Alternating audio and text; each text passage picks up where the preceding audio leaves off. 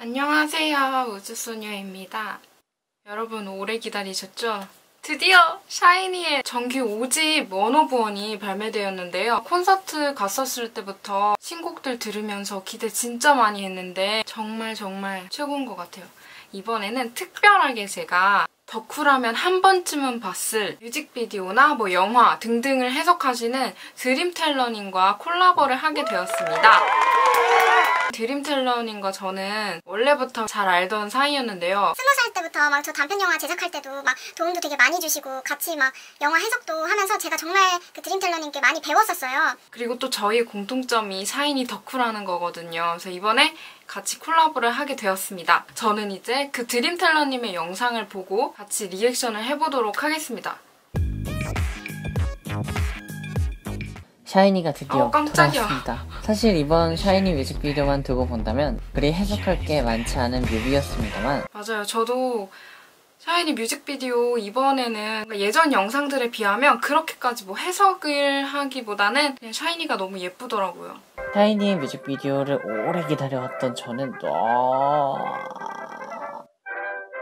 정말 아, 탐탁치 않군. 너 아, 때문에 흥이 다 깨져버렸으니 책임져. 예, 기범이 소스님.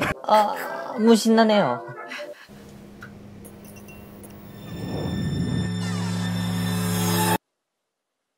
샤이니 이번 음악은 기본적으로 X세대의 감성을 품고 있습니다. X세대라고 하면 20대 후반, 30대 분들이라면 어렸을 때를 떠올려도 충분할 것 같기도 하고 아니더라도 응답하라 시리즈들로 충분히 그 시대를 보긴 하셨으니까 아예 모르실 것 같진 않습니다. X세대 하면 가장 먼저 떠오르는 것은 무엇일까요?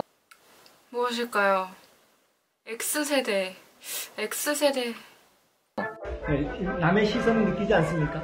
아니요, 전혀 신경 쓰지 않습니다. 제가 입고 싶은 대로 입고요.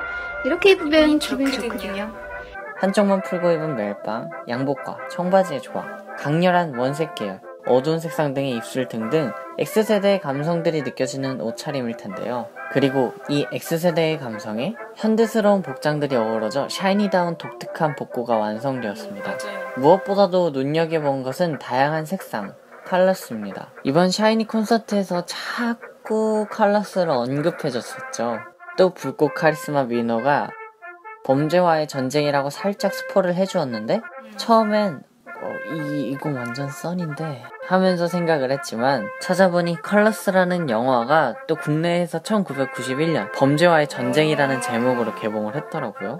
물론 우리나라 범죄와의 전쟁이라는 영화도 1990년대를 배경으로 한 영화이기도 합니다. 게다가 콘서트에서 자꾸 언급한 Colors가 있으니 뭐 이건 아, 지금 이 드림탈러님의 해석을 보니까 진짜 신기한데요? 근데 아까 전에 이제 KBS에서 페이스북 라이브를 했을 때 딱 어떤 팬분이 왜, 점, 왜 범죄와의 전쟁이라고 하셨어요? 그래서 멤버들이 뻥이죠? 뭐 장난친 거죠? 이랬는데 그냥 옷이, 옷을 입었을 때 그 양복 입은 게 범죄와의 전쟁 같아서라고 대답을 했거든요. 근데 또 이렇게 보니까 이것도 충분히 새로운 해석이 될 수 있을 것 같아요. 샤이니가 내놓은 복고는 우리가 그 시대를 살고 있지 않았다고 하더라도 좀 더 몰입감 높은 느낌을 주었습니다. 계속해서 소통하기 위한 영상들과 시도 역시 그렇고 찾아볼 만한 재밌는 요소 또한 많았던 것 같습니다. 몇 개를 찾아보자면 삐삐와 히치하이커가 좀 재밌었는데 삐삐는 샤이니가 티저 이미지로 공개한 일정표에 나와 있었죠. 삐삐를 사용할 때 썼던 숫자의 의미라고 하네요. 저도 이제 삐삐 세대까지는 아닌데 저희 동네에만 해도 그 레코드샵에 테이프를 되게 많이 팔았어요. 그래서 근데 지금은 진짜 테이프 파는 데를 찾아볼 수가 없죠. 다 이제는 CD를 넘어서 거의 다 스트리밍으로 듣기 때문에 히치하이커는 SM 소속의 아티스트인데 어느 날 온유의 인스타에 히치하이커에 10달러가 올라왔었죠. 알고 보니 이 곡은 이런 곡이었는데 네 샤이니 컴백 일정 10월 5일이기도 했었죠. 타이틀곡 101의 뜻은 단 한 여성만을 위해 하나뿐인 사랑을 주겠다라고 하는 뜻이기도 한데요. 1세대 아이돌들이 X세대에 출연하기도 했었으니까 여러모로 일과 좀 관련이 있을 것 같네요. 그래서 말인데 제가 제가 몇 번 언급한 적이 있지만 종현님을 필두로 해서 샤이니 음악성과 매력에 입덕해버린 첫 남자 아이돌이기도 한데요. 빛나는 샤이니가 1세대 아이돌이 지나온 시간들처럼 서로 언제나 그 자리에 서 있는 감동과 추억을 공유할 수 있는 날이 오기를 바래봅니다. 솔직히 뭐 이거 왜 해석할 게 어딨나 싶기도 하고요. 그냥 너무 좋고요. 그냥 플레에게 축복을. 아 뭐야?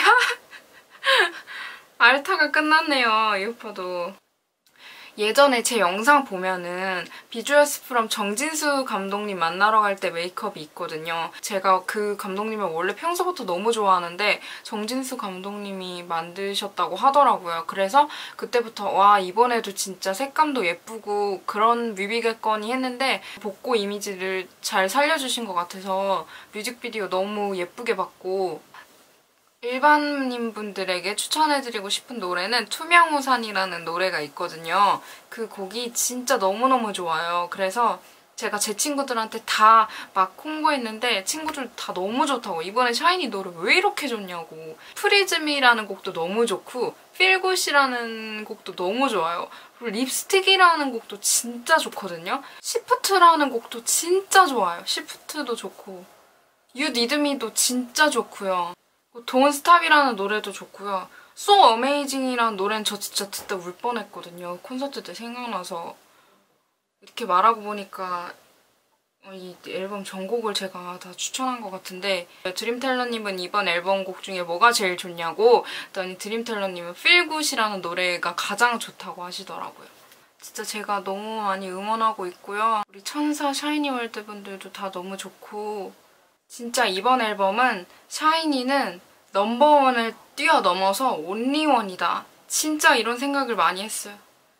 아, 이번에는 드림텔러님의 영상을 보고 같이 해석도 보고 어, 얘기도 할 수 있어서 좋았고요. 드림텔러님 채널도 꼭 구독해주시고 제 채널도 꼭 구독해주시면 감사하겠습니다. 안녕!